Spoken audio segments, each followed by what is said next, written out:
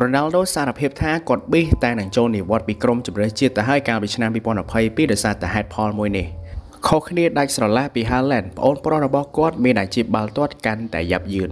បិសាចក្រហមចង់លក់ប៉ុន្តែខ្សែការពាររូបនេះមិនចង់ចាក់ចេញវីដេអូនេះនាំមកជូនដោយវេទិកាកំសាន្តដ៏ល្អដែលគេនៅតំបន់អាស៊ីក្នុងឱកាសដ៏ពិសេសនេះមានបន្ថែមជូនអាវយឺតគុណខ្មែរដ៏ស្រស់ស្អាតមួយសម្រាប់បងប្អូនដាក់ប្រាក់30ដុល្លារមានចំណាប់អារម្មណ៍អាចទំនាក់ទំនងតាម Telegram ដែលមានដាក់ link នៅខាងក្រោម description វីដេអូនេះ រ៉ូណាល់ដូសារភាពថាគាត់ប៊ីសតែនឹងចូលនិវត្តន៍ពីក្រុមជម្រើសជាតិទៅហើយកាលពីឆ្នាំ2022ដោយសារតែហេតុផលមួយនេះ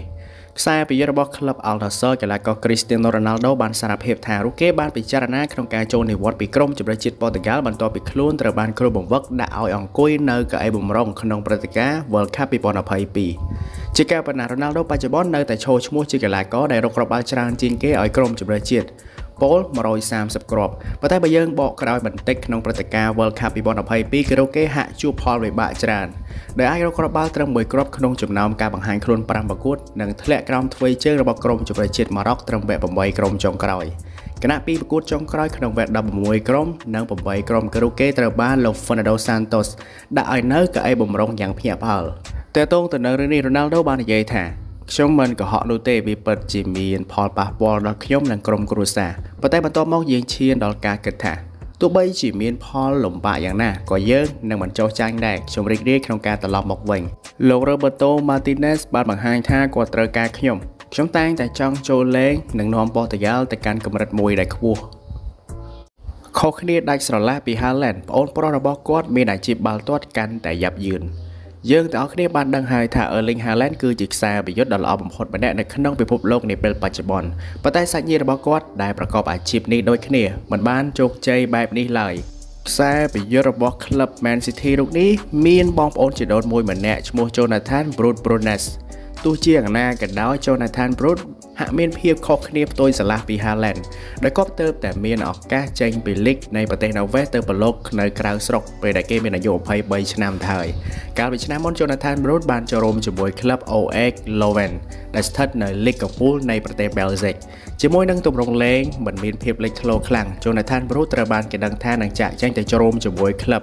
Rago Setojoa ដែលជាក្លឹបឈរនៅចំណាត់ថ្នាក់លេខ7ក្នុងតារាងនៃលីកកំពូលប្រទេសប៉ូឡូញ ពេលនេះ Jonathan Brood នឹងធ្វើការពិនិត្យសុខភាពមុននឹងឈានដល់ការចុះកិច្ចព្រមព្រៀងផ្ទេរជាផ្លូវការដែលតម្លៃខ្លួនរបស់គេត្រូវបានគេប៉ាន់ប្រមាណថាមានតម្លៃត្រឹមតែ900,000អឺរ៉ូប៉ុណ្ណោះ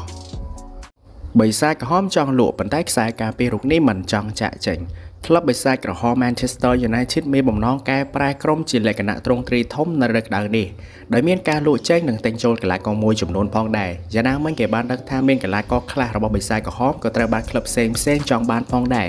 គេបានដឹងថាកីឡាករឆ្នើមម្នាក់ក្នុងក្រុមរបស់លោក Eric Ten Hag គឺខ្សែការពារ Aaron Wan-Bissaka បានទទួលការចាប់អារម្មណ៍ពីសំណាក់ក្លឹបញញោធំ West Ham ប៉ុន្តែផ្អែកតាមរបាយការណ៍ពី The Athletic បានរាយការណ៍ថាកីឡាកររូបនេះបានបដិសេធមិនផ្ទេរទៅ West Ham ដាច់ខាត ដល់ឡែកគេជឿជាក់ថាខ្សែការពារស្ដាំវ័យ26ឆ្នាំអរុនវ៉ាន់ពីសាកានឹងចាក់ចេញលុះត្រាណាតែគាត់ទទួលបានឱកាសផ្ទេរទៅ Inter Milan ប៉ុណ្ណោះដែលនោះជាចម្រើសអត្តភាពរបស់គាត់កន្លងមក Inter Milan ធ្លាប់ចង់បដូរវ៉ាន់ពីសាកាជាមួយ Giuseppe Meazza និង Denzel Dumfries ប៉ុន្តែក្លឹបបិសាចក្រហមមិនព្រមអើពើនឹងរឿងនេះឡើយ Julian Alvarez សម្រាប់ចិត្តចាក់ចេញពីទឹកដីអង់គ្លេសខ្សែប្រយុទ្ធរបស់ក្លឹប MQ Manchester City និងក្រុមជម្រើសជាតិអាសង់ទីន Julian Alvarez បានធ្វើការសម្រេចចិត្តចុងក្រោយតាក់ទងទៅនឹងអនាគតនៃអាជីពបាល់ទាត់របស់គាត់យោងតាមសារព័ត៌មាន The Athletic បានដឹងថា Alvarez បានប្រាប់ពីបំណងរបស់គាត់ទៅកាន់ថ្នាក់ដឹកនាំរបស់ក្លឹប Man City រួចហើយថាគាត់នឹងចាក់ចេញពីក្លឹបនៅរដូវក្តៅនេះលើសពីនេះទៀតគាត់ក៏មានបំណងចាក់ចេញពីប្រទេសអង់គ្លេសផងដែរ ដោយសារតែគ្រួសាររបស់គាត់មិនចូលចិត្តជាមួយអាកាសធាតុមិនល្អក្នុងតំបន់ដែលពួកគេរស់នៅ Man City បានទទួលយកបំណងរបស់ Alvarez ហើយត្រៀមលក់គាត់ក្នុងតម្លៃ70លានអឺរ៉ូពេលនេះក្លឹបម្ចាស់ជើងឯករបស់អង់គ្លេស Man City កំពុងរងចាំសំណើពីក្លឹបផ្សេងផ្សេងដែលចង់ដេញថ្លៃចុះហត្ថលេខាលើ Julian Alvarez គ្មានការលាក់បាំងឡើយពីមូលហេតុដែល Alvarez ចង់ចាក់ចែងព្រោះគាត់មិនសប្បាយចិត្តនឹងឱកាសលេងនៅ Manchester City ក្រាដែលគេជាតួអង្គរង ឬជាជំរើសទី2 នៅពីក្រោយមករួមក្រុមនឹងជាគូប្រជែង Erling Haaland កាលពីមុនមានសេចក្តីរាយការណ៍ថា Atletico Madrid ចាប់អារម្មណ៍លើ Alvarez ដោយឃើញគាត់អាចក្លាយជាអ្នកជំនួសតំណែងដ៏ល្អរបស់ Memphis Depay ឈុតសម្លៀកបំពាក់ក្រៅដីនៅរដូវកាលក្រោយមើលទៅមិនមានក្លឹបណាស៊ីដាច់ Man U ទេក្លឹបបិសាចក្រហម Manchester United បានបង្ហាញឈុតសម្លៀកបំពាក់ក្រៅដីរបស់ពួកគេសម្រាប់ប្រើប្រាស់នៅរដូវកាលក្រោយ2024-2025 ចាណាមិញឈុតសម្លៀកបំពាក់ដែលច្នៃឡើងដោយក្រុមហ៊ុន Adidas នោះត្រូវបានផលិតក្នុងពណ៌ខៀវចាស់ដែលខុសពីភាពសាមញ្ញពោលគឺហាក់ដូចជាមានភាពលេចធ្លោខ្លាំងបូកផ្សំនឹងម៉ូដពណ៌ផងដែរ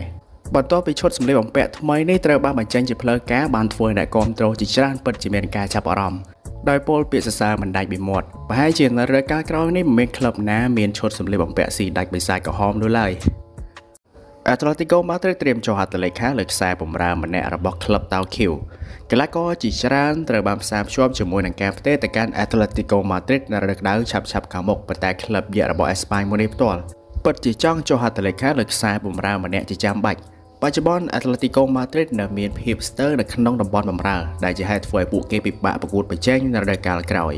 យោងតាមសេចក្តីរាយការណ៍របស់ Tim Talk បានដឹងថាថ្មីថ្មីនេះ Atletico Madrid បានតាក់ទងទៅកាន់ខ្សែបម្រើ Conor Gallagher របស់ក្លឹប Chelsea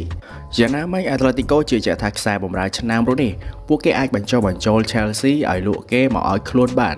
ទន្ទឹមនឹងនេះដែរ Atletico Madrid បានចាត់ទុកខ្សែបម្រើវ័យ24ឆ្នាំ Conor Gallagher ជាកីឡាករដែលស័ក្តិសមនឹងផែនការរយៈពេលវែងរបស់លោក Diego Simeone គេក៏បានដឹងផងដែរថា Conor Gallagher ពិតជាពេញចិត្តនឹងជំរើសនៃការផ្ទេរទៅទឹកដីអេស្ប៉ាញដែលជាកន្លែងអាចឲ្យគាត់មានឱកាសលេងកាន់តែច្រើន